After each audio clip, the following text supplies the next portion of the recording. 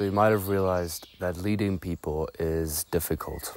And especially staying the leader of a group is difficult. Many, many self improvement YouTubers taught you how to be the leader. Be strong, be masculine, be faithful, give them a goal to work towards.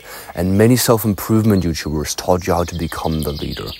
Today, I'm going to teach you how to stay the leader over a long amount of time and how to do so in a purposeful way and not just say, oh, yeah, let's make this small decision. I'm today going to teach you how to help people make big decisions in your real life and how to help them with leading them and not just lead them for your own basically mental masturbation.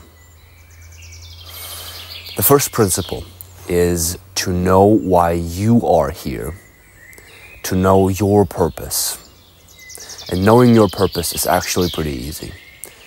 You basically think, okay, what decisions would I take if the decisions weren't executed by me? Because for some people, fear isn't an issue, or money isn't an issue, but the execution they lack the discipline, and they know that they lack the discipline to pull through the decisions they make. Therefore, they never make those decisions of, I'm going to go to the gym because they know that they're going to quit. And if you simply ask yourself, what would I do if a robot executed it for me and then gave me the results from it? What would I do then? And that helped me uncover my purpose. What also can help is journaling who am I? Simply journaling, who am I? And journal especially about the things that people couldn't take away from you. Imagine yourself in the ring. I, think you know this movie um, where Thor, I think it was Thor 2, where Thor gets thrown on this planet and they has to fight Hulk in the arena. And everything is taken away from him. His hammer is taken away from him. His garment is, put in, is taken away from him. His glory is taken away from him. But he is still Thor. He basically still acts as if he is Thor. So who would you be if everything was taken away from you? And then think, what do I actually want in life if everything was taken away from me? That's the first part of leadership. Because if you don't know why you are here, then how can you lead? You can't be a blind leader. You have to be a leader who sees where you're going and then tell the people who are behind you as if you were leading the blind. Where are we going? How does it look where we're going? How is the feeling where we're going? This next thing, which is probably the most important thing on this list, is know why they are here. Now, in a job, you might think, okay, straightforward they're here to make money. So let me help them make money. But you can't actually do that right? You can't in a, in a lot of situations you cannot give people a raise because you're not their boss. But what you can do however is help them spend less time or make the time more fun. So, what's the objective actually for them? What's the realistic expectation or what's the realistic wish they have? Right? An unrealistic wish would be to just get paid without working at all. but the realistic wish is to make work as fun as possible and to not make it this dreadful thing. So know the purpose of the people who you are trying to lead in the moment you're trying to lead them. Because of course, you cannot find out the purpose of 400 people. Because discovering your purpose involves knowing the deep, dark truth about yourself. And not everyone is willing to tell you that. So know why they are with you where you are right now. If you're a YouTuber like me, for example, I know that you are here to improve yourself. So I will only give you the tips to help you improve yourself. I won't tell a long story. I won't try to get you hooked. I won't tell you to subscribe and to like the video. Um, because I know that you are here because you want to improve myself and not because you want to support me. if you want to support this message, go down and subscribe to this channel. Know why the people around you are where they are. and you will become their leader. Because if you can give them exactly that, trust me, they're gonna listen to you, they're gonna not ignore you. If you have something they want, they are gonna be below you. you are gonna sell to them. Because think about your math teacher in school. He led you through math. He was the leader in math, even though you hated that guy. You hated him. He wasn't masculine, he was some little soy boy, skinny fat bitch who you could have smacked. But he had what you wanted, which was a degree or, I don't know, a high school diploma or whatever. He had what you wanted, which was good grades, and therefore you let this unmasculine guy lead you.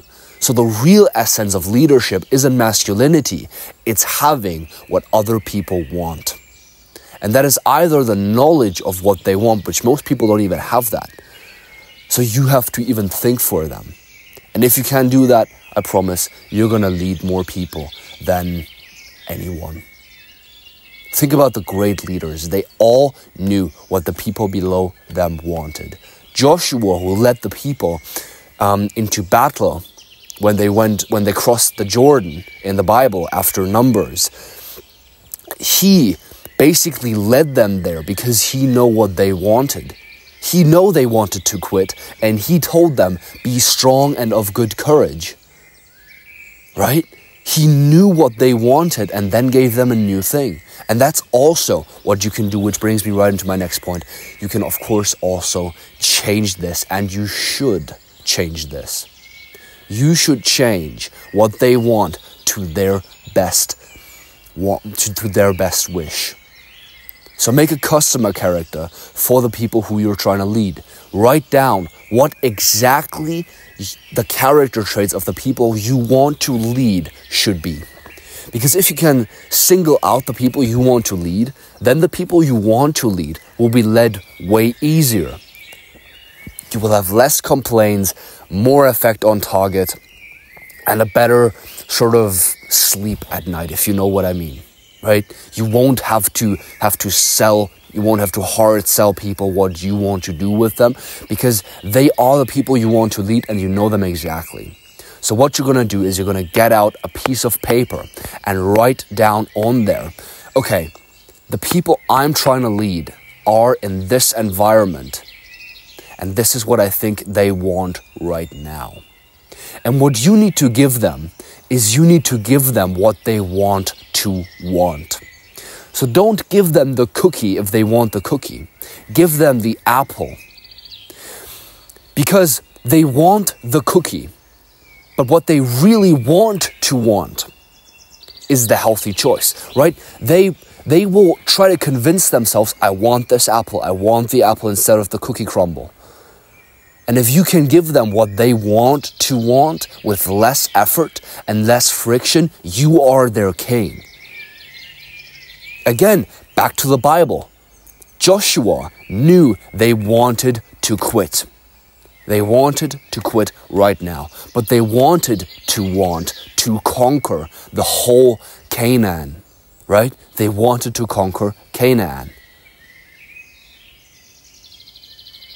And therefore, that's exactly what he gave them. He gave them what they wanted to want and exceeded their wishes.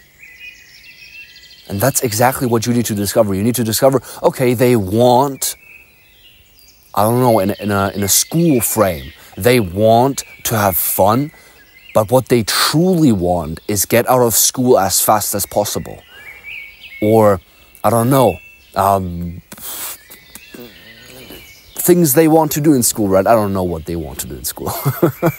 Fuck school. uh, but you need to essentially know the wish below the wish, the wish to wish.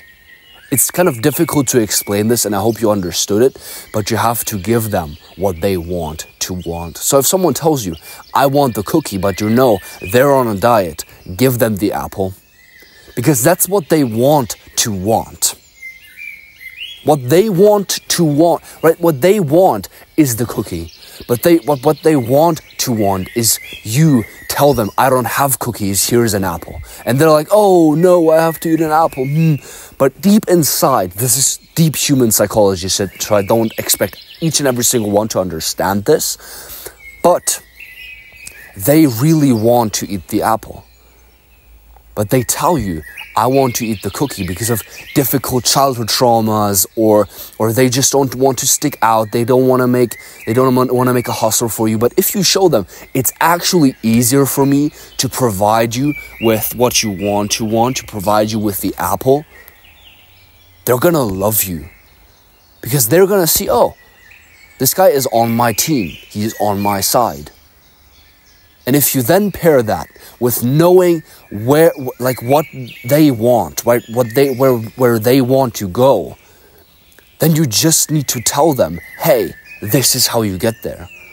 And boom, you become a leader. This is exactly what self improvement YouTubers do. I know why you are here. I know that you want to click off. But because I'm, first of all, too foul to edit, and it's more convenient for me to provide you with the thing you want to want. I provide you with these very uncut, low cut sort of videos that maybe have one or two cuts in them. And that's the same analogy as with the Apple. You may want the over edited Iman Gadzhi video, but you truly want to want the video that hasn't many cuts, that is filmed in real nature right? Look at this. This is all filmed in real nature. And if this is really what you want to want, I would be very excited for a comment. I always love to read and answer comments. So if you really want to make my day, just write a comment and subscribe to my YouTube channel because I'm currently aiming to hit one subscriber a day. Now, master your mind, have a nice day, and lead the people into conquest and into a better life. Trust God because Jesus loves you.